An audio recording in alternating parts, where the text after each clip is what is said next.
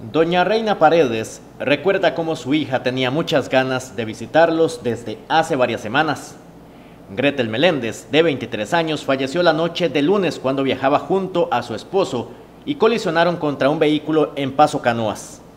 Meléndez fue declarada como fallecida en el lugar, mientras que su compañero de apellido Gómez se encuentra en el Hospital Escalante Pradilla de Pérez Celedón, donde fue remitido tras el aparatoso accidente. Pues que me consuela que ella hace muchos días estaba con ganas de venir a ver, de venirnos a ver, en especial a sus hermanos. Estaba con muchas ganas de verlos. Estuvo muy poco en realidad.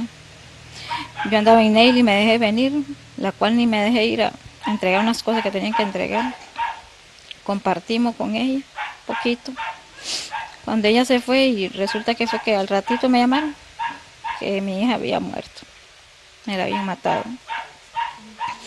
Los hechos se encuentran bajo investigación para determinar las causas de esta colisión que tiene de luto a la comunidad de El Roblito en Corredores. No solamente lo que me contó mi hermano, que él iba atrásito de ellos, pero él pasó y vio un accidente ahí, pero jamás percató que era la entenada de él, bueno, la hija, porque él la crió a esa muchacha.